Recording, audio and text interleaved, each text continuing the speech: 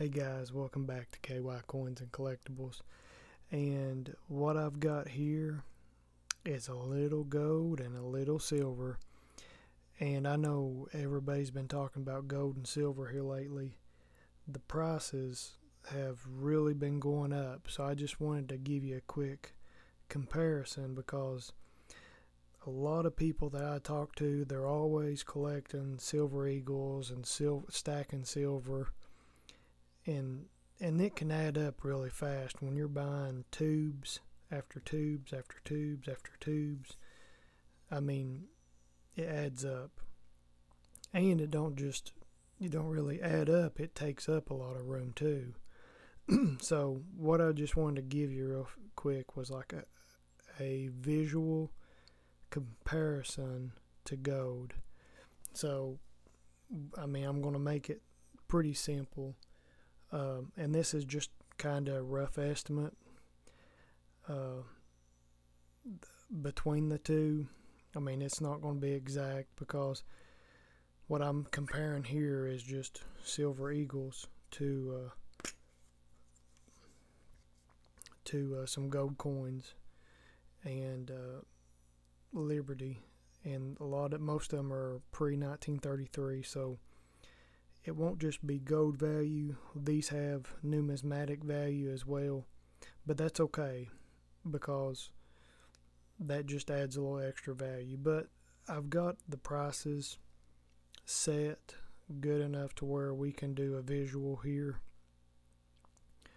because uh, I mean just four tubes of silver eagles is a lot and if you're a prepper or doing it for investment, it just really depends on why you're doing it, why you're collecting, why you're saving, what you want to do. But just this will give you an idea because everybody thinks that gold is just it's too expensive to have. But when you break it down like this, you'll see that it's really not. So just because the spot, gold spot right now is 2400 and silver is $28. You people kind of think that gold is unattainable, unattainable. It costs too much. Well, that's for spot. That's like an ounce. You don't have to buy an ounce of gold. So, your silver eagles, like I said, I've got four tubes here. And right now, on eBay a, a tube of silver eagles, depending on the year, that a newer or older ones, they're going for about six fifty. And today's four twenty, uh, twenty twenty four, and this is what gold was. And I just got off eBay looking at some of the sold items, and a, a tube or a row of silver eagles is going for about six fifty. Just that's kind of the average and uh, what I want to show you is this tube is about 650 you got 20 of them in there. This one five dollar gold piece it's an 1886s and it's going on ebay right now depending on condition and i looked at one similar to this between six and seven hundred dollars. So this right here is a perfect comparison. You can have a gold coin or you can have a tube of eagles. So you can have you've a lot of people probably have a, a few or a bunch of tubes of silver eagles in their safes. And it, they it takes up a lot of room. If you're like me, you probably got a bunch of guns in there too, and you've got some wife's jewelry, and you've got a bunch of other stuff in there taking up a lot of room. And and these tubes do take up a lot of room, especially if you got ten or twenty of them, because a lot of people do. Uh, downsize. Sell you one pick you up a gold coin. So, just just giving you a little helpful advice because I think a lot of people have the mindset that gold is too expensive. Now, it can get expensive if you're trying to buy one ounce gold bar. Yeah, you're talking twenty four, about twenty four hundred dollars or twenty five. Uh, but look at it this way: four of these tubes is about twenty four hundred dollars. So we've got their their average going for about 650 so if you take 650 times 4 that's $2600 so if that would be about the price of a, a one ounce gold bar depending on the brand condition and what I've got is a 1884s $20 double eagle uh, Liberty gold coin. And and I've got about twenty five hundred dollars on mine. So there's another this is another prime example. Four of these is twenty six hundred dollars.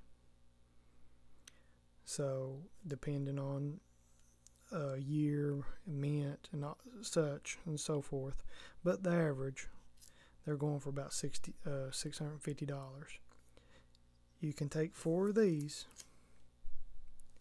and you can buy a gold coin. So that that's just one way to look at it. That's kind of how I look at it. But you don't have to be either or you can do both sell you a couple uh, tubes pick you up a, a $10 gold coin and uh, they're going for about $1,200.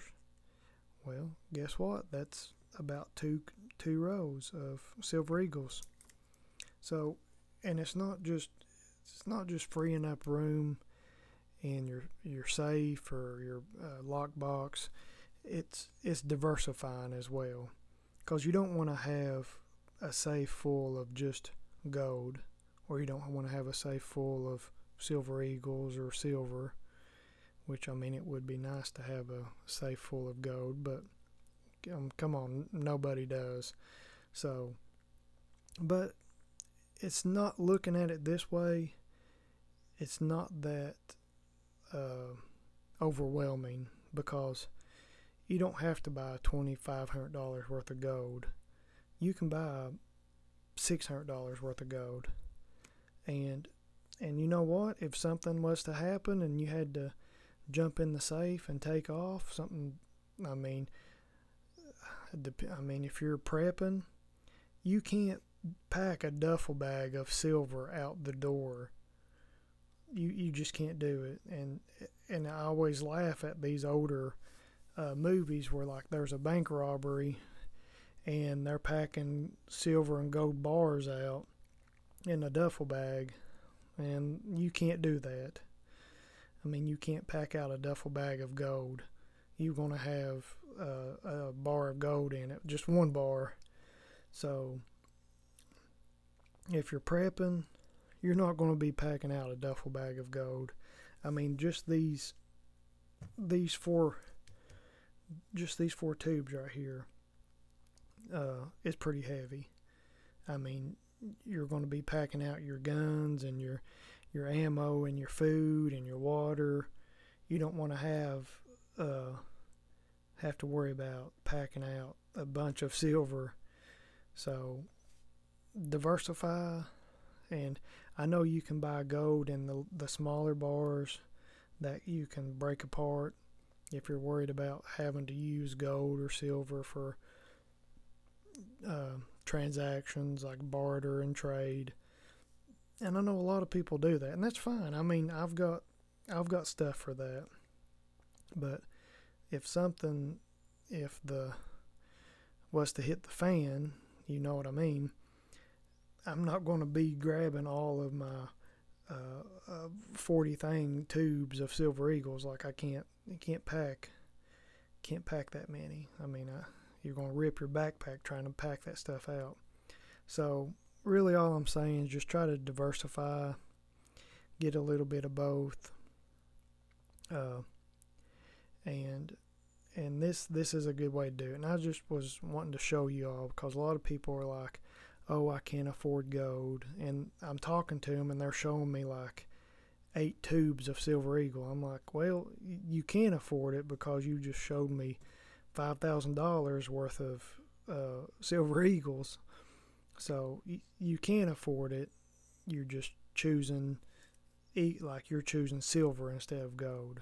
So, about like I've uh, last couple days I've had people talking about silver and gold prices and going up, and people just tell me they can't afford gold and they're silver stackers and they've got a bunch of 10 ounce bars and silver tubes of silver eagles and I'm like just add up what you got in your silver and compare it to gold. Like you can you can have smaller pieces of gold. And it's a good uh, diversification. You, I mean, you need to diversify, and it's kind of the same if you're looking at this stuff as investments.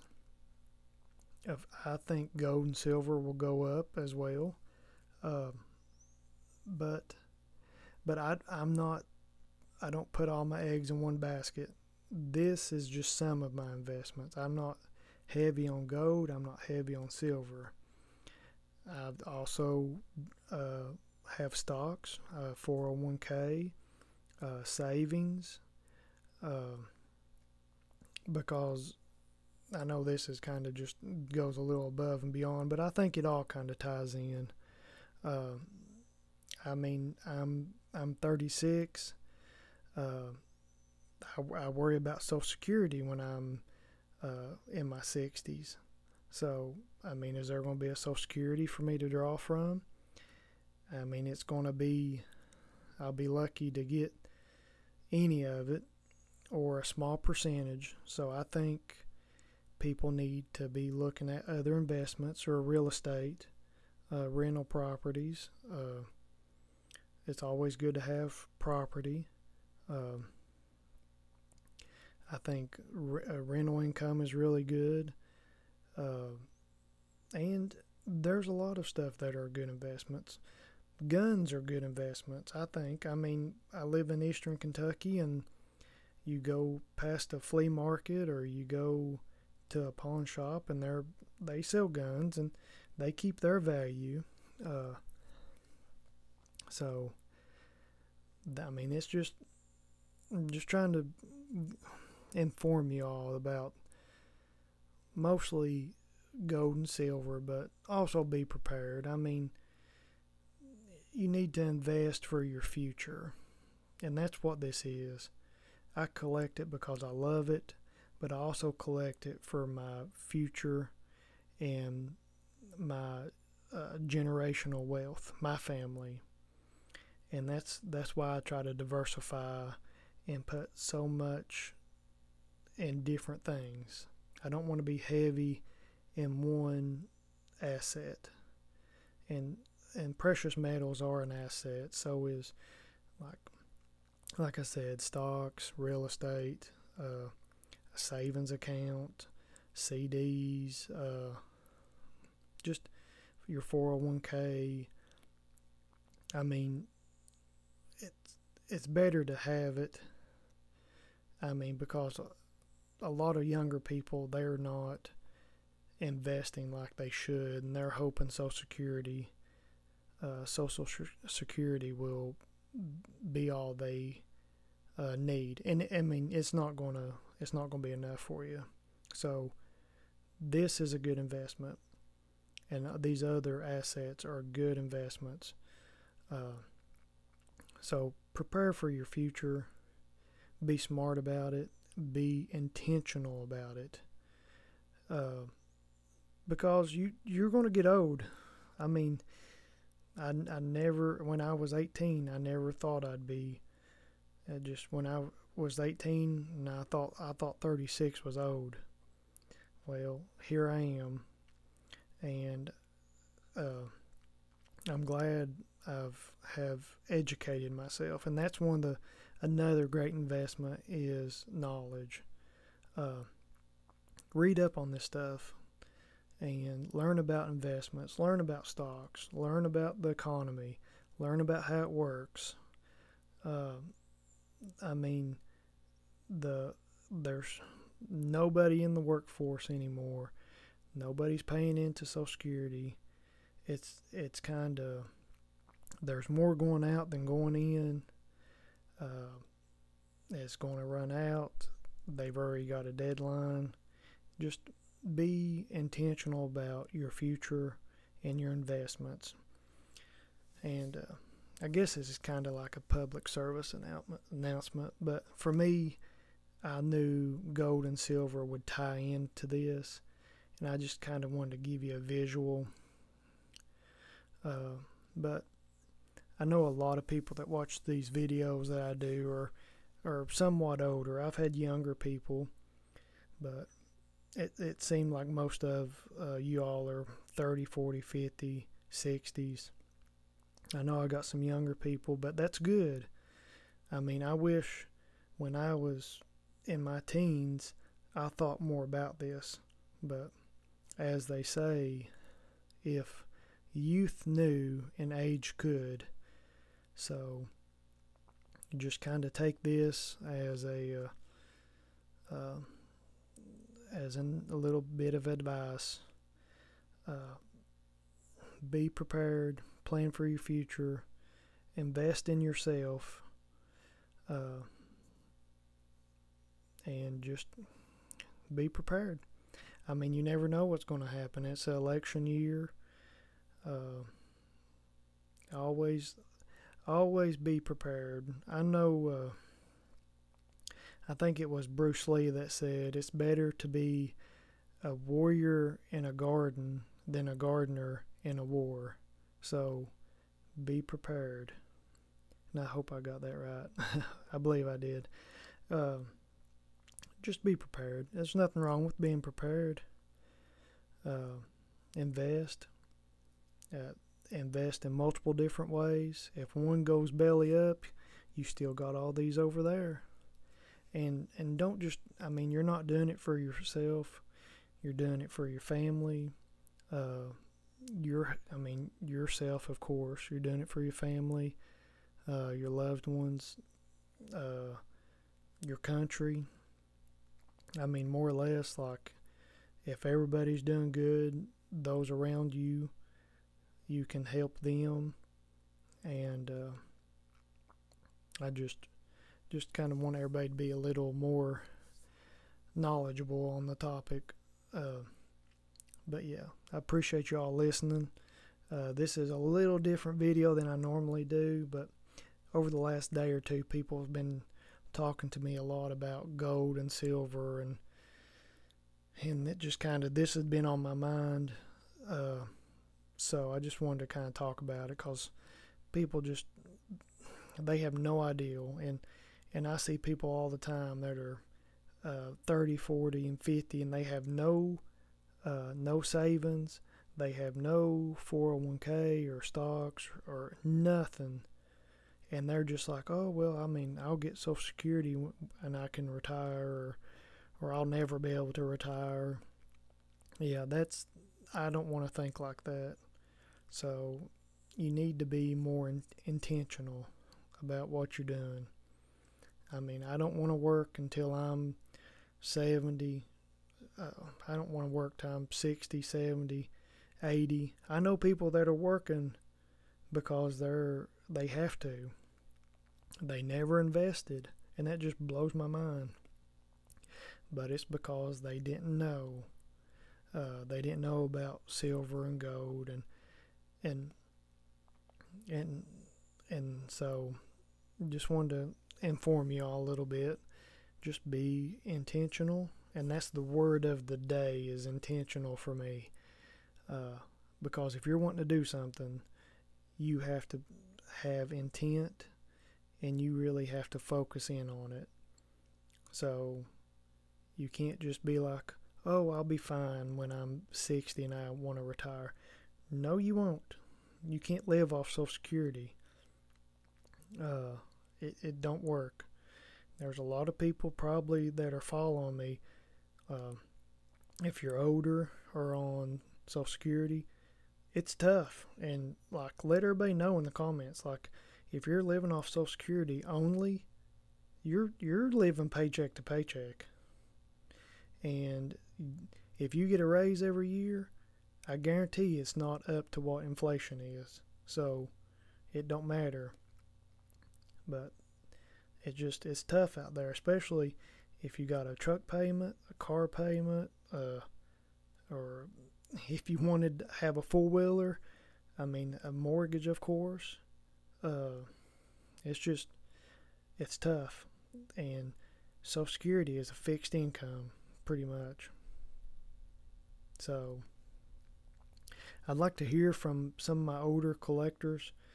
Uh, I know y'all don't have to tell what you make or anything, but just let everybody know that.